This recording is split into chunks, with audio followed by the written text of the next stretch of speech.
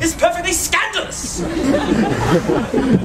Besides, now that I know you to be a confirmed and secret Bunburyist, I naturally want to talk to you about Bunburying.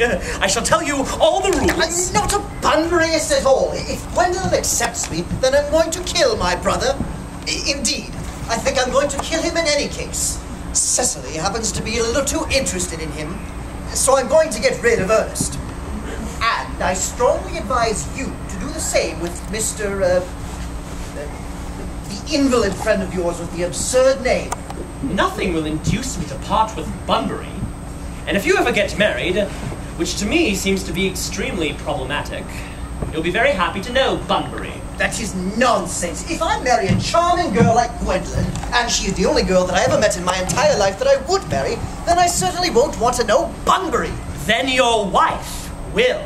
You fail to realize, my dear fellow, that in married life, three is company and two is none.